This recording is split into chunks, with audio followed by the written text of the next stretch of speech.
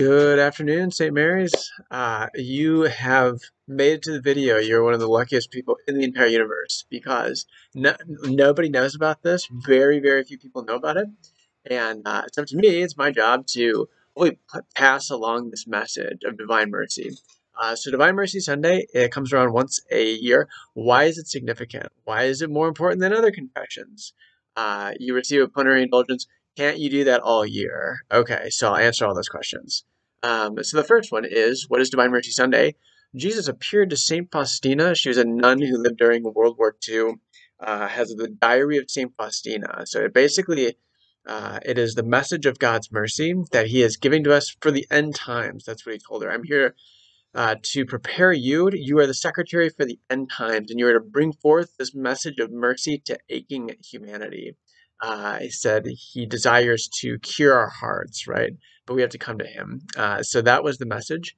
So um, I'll read to you straight from the diary uh, what the what he says. Okay, so my daughter told the whole world about my inconceivable mercy. I desire that the feast of mercy be a refuge and a shelter for all souls, and especially poor sinners. I pour out a whole ocean of graces upon those souls who appro- approach the fount of my mercy, which is confession. I want to con- grant I want to grant a complete pardon to the souls that will go to confession and receive Holy Communion on the feast of my mercy. Whoever approaches the fountain of life on this day will be granted complete forgiveness of sins and punishment. Okay? Um, that soul, the soul who goes to confession receives Holy Communion will obtain complete forgiveness of sins and punishment. So, what is required for Divine Mercy Sunday? There are two the worthy reception of the Eucharist. So we have to be in the state of grace, and we receive the receive the Eucharist, and then confession on the same day on Sunday. Um, Father mentioned if there's a if there's a situation where your health doesn't allow you, you can do eight days before or after. But in the diary, it says on the day of, right? So if you can make it uh, on that day, uh, then that is super important. Um, what is what is the big deal? Why is uh, I thought when you go to confession your sins are forgiven anyways. Our sins are forgiven, but our punishment remains. So I was listening to a person who had a uh, near death experience, and she said she was judged before the Lord.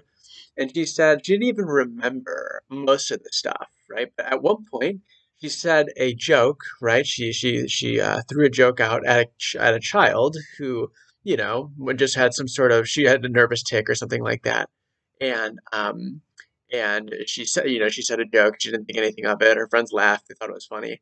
And she said she saw the impact of that single uh, sin. That one thing ended up, you know, leading this child to have, you know, self-conscious issues. She became obsessed with the mirror. She started seeing all these deformities, even though she was apparently this beautiful girl. Uh, she, it, it just, it just caused her an immense amount of pain and then the decisions that she made after that. She ended up getting into drugs, going to bad friends, all of that, right? All that pain, all that impact uh, came to meet her on the last day, right? So there's one sin, you know, and then that played out to the end of time, right? The impact until the end of time.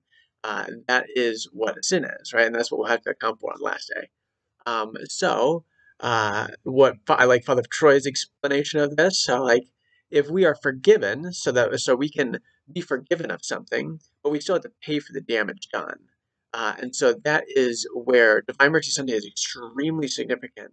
This is the only time of the entire year most of us receive a plenary, a plenary indulgence, which is basically complete forgiveness of all that and punishment due, right? We do not have to pay for any punishment. And so it seems unfair, right? It seems like this is uh, but it is fair because everybody has this opportunity. There's not a single person that this isn't open to, uh, a single Catholic that this isn't open to. Uh, so uh, it's just up to us if we want to take advantage of it or not.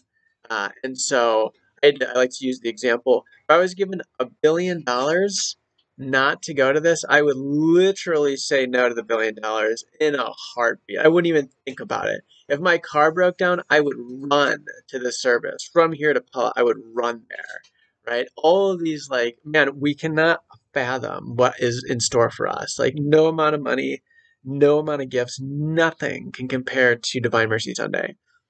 Uh, worthy, uh, worthy reception of the Eucharist and a, and, and, a good confession, right? So we have to confess all mortal sins that we've committed. Um, and if we've held anything back in the past, uh, we we we have to if if we're in confession. In order for confession to be valid, we have to say every mortal sin. If we know of one and we hold it back, it doesn't count. The confession's invalid. Uh, so that is something to know. Uh, please, please, please, for yourselves, do yourselves a favor. I will be there. I'll be the first in line probably. Um, but I just wanted to share that super important message with you, with you and uh, hopefully you have a great rest of the weekend. All right, God bless you. We'll continue five and six uh, commandments next next week. All right, God bless. Bye.